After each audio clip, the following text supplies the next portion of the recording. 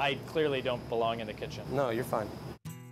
Dublin O'Neill's has only existed for two and a half years, but their food and drink has attracted quite the following. We are concept Irish pub based. Um, we are very culinary based. Our food has a Midwestern comfort food style flair to it. Um, so we are going to have traditional Irish uh, items on our menu, but we also have things that appeal to people that you know grew up in this area. And this weekend, everyone is encouraged to find the Irish within. Which one is she? Oh, with the whiteboard? Oh, okay. All right, we're almost to Mrs. Greenwald's classroom. Let's see what her reaction is. I'm kind of hoping for a tear now, actually, so let's go see. Okay, so we've made our way to Mr. Arsenault's classroom, so let's go in and surprise him.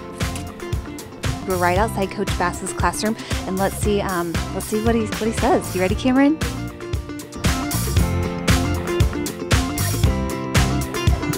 I'm so nervous all of a sudden. Hi, Mrs. Greenwald, Mr. Arsenault, Mrs. Grace, Coach Bass. Hi. I'm Heather Roberts from CI Living, and you were nominated by Michael's mom. These lovely ladies here have nominated you for our Making the Grade contest because they love you. Mary over there, she nominated you, and she could not say enough kind words about you. And Cameron over here, he nominated you, and he just could not say.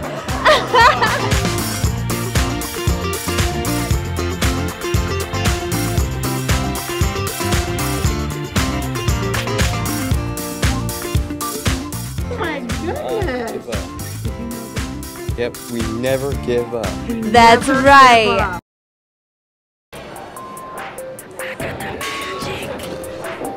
Hmm. That's good. I made that. I'm a barista. I became the conductor on the caffeine train, and there were no breaks.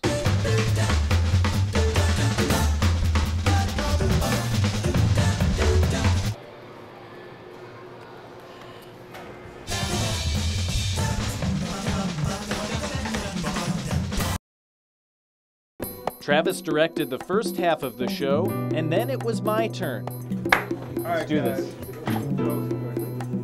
Don't sound so sad about that. Yeah. I need everyone's A game. Showtime. Showtime. This is your captain speaking.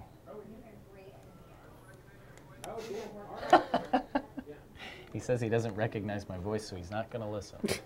Okay, and cue her.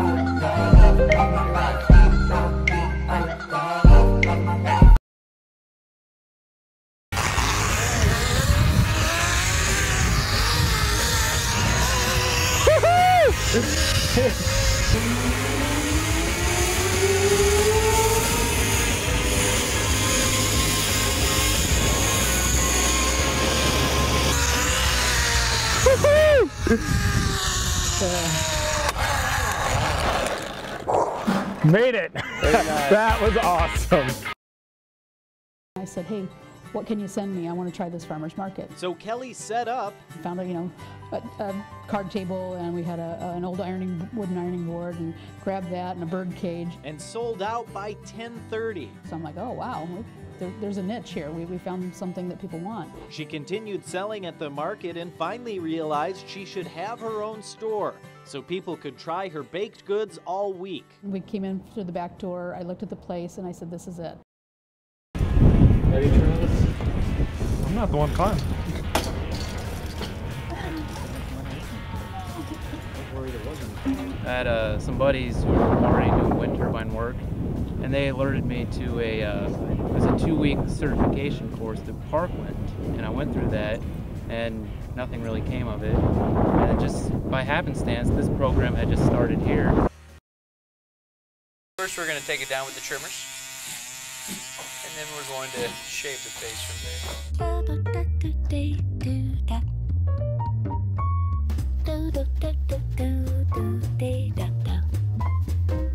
This is called what? Straight razoring? Uh, this is uh, right here is the uh, straight shave, Straight. shaving your neck. Okay. But the process of uh, what we're going to do on your face is called a hot towel straight shave. Whoa. This is like going to the spa. It's just real peaceful.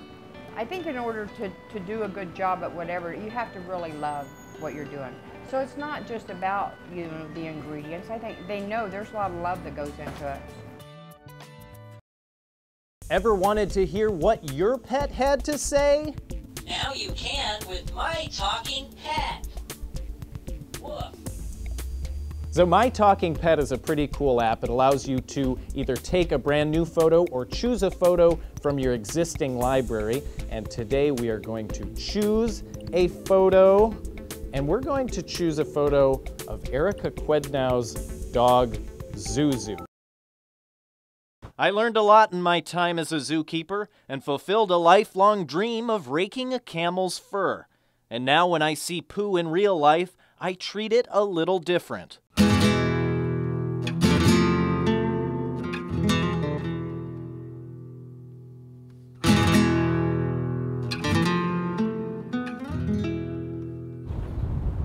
Guinea hog. Male.